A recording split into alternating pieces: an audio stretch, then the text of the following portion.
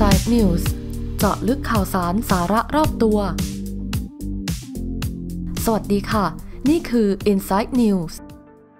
เพื่อไทยจี้ประยุทธ์ ช่วยประชาชนเข้าถึงแหล่งทุน เพื่อต่อยอดธุรกิจ ชี้ เงินทุนหาย รายได้หด กู้ไม่ได้ แนะทำไม่ได้หรือทำไม่เป็น ควรจะออกไปได้แล้ว พักเพื่อไทยพร้อมทำ เมื่อวันที่ 11 พฤษภาคม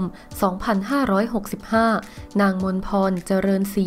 สมาชิกสภาผู้แทนราษฎร จังหวัดนครพนม รองเลขาธิการพักเพื่อไทย กล่าวว่า ปัจจุบันประชาชนได้รับผลกระทบอย่างมาก จากปัญหาค่าครองชีพที่สูงมาก เงินเฟอ้อสูง ข้าวของแพง น้ำมันแพง ก๊าซหุงต้มแพง หมูแพง ไข่แพง น้ำมันปาล์มแพง บะหมี่กึ่งสำเร็จรูปแพง สินค้าทุกชนิดที่เกี่ยวกับการประทังชีวิตของประชาชน แพงหมด แต่รายได้ประชาชนไม่เพิ่ม ค่าแรงไม่เพิ่ม ราคาสินค้าเกษตรไม่เพิ่ม หรือเพิ่มก็น้อยมาก การค้าขายฝืดเคือง เป็นหนี้เป็นสินกันทั่วหน้า ไม่รู้จะหาที่พึ่งจากที่ใด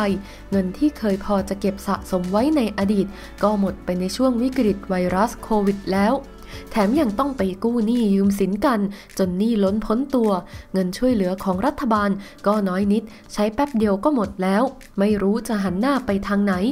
ดังนั้นในภาวะหลังจากวิกฤตไวรัสโควิด และประเทศกำลังเข้าสู่ภาวะปกติแล้ว จึงอยากเรียกร้องให้พลเอกประยุทธ์ ได้เห็นใจและช่วยเหลือประชาชน ในการให้โอกาสประชาชน สามารถเข้าถึงแหล่งทุนได้ เพื่อจะนำมาทำทุนในการประกอบอาชีพ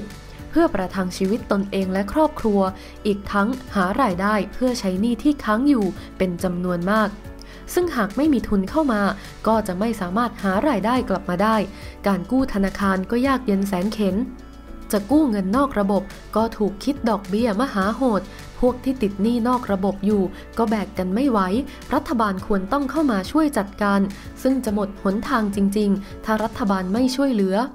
อยากให้รัฐบาลได้ลองคิดวิธีทาง ที่จะเพิ่มเงินทุนหมุนเวียนในระบบเศรษฐกิจ เพื่อให้เศรษฐกิจคล่องตัว ประชาชนสามารถหาเงินทุนมาทำทุนต่อยอดได้ ลดขั้นตอนการขอกู้เงิน อีกทั้งช่วยเหลือในการลดหนี้ ลดดอกกับพวก NPLs ที่จะพอทำธุรกิจต่อได้ ถ้านี่ไม่มากเกินไปนัก เพื่อให้ประชาชนลืมตาอ้าปากได้ โดยพักเพื่อไทยได้เตรียมนโยบายรองรับในเรื่องนี้ไว้แล้ว หากพลเอกประยุทธ์ทำไม่ได้ หรือทำไม่เป็น ก็ควรจะออกไปได้แล้ว เพราะยิ่งอยู่นาน ประชาชนยิ่งลำบาก ให้คนที่มีความรู้ความสามารถ และทำสำเร็จมาแล้ว เข้ามาทำแทน ประชาชนจะได้หมดทุกหมดโศก มีรายได้เลี้ยงครอบครัว และส่งลูกเรียนหนังสือได้ อย่าอยู่ถ่วงความเจริญให้ประเทศอีกต่อไปเลย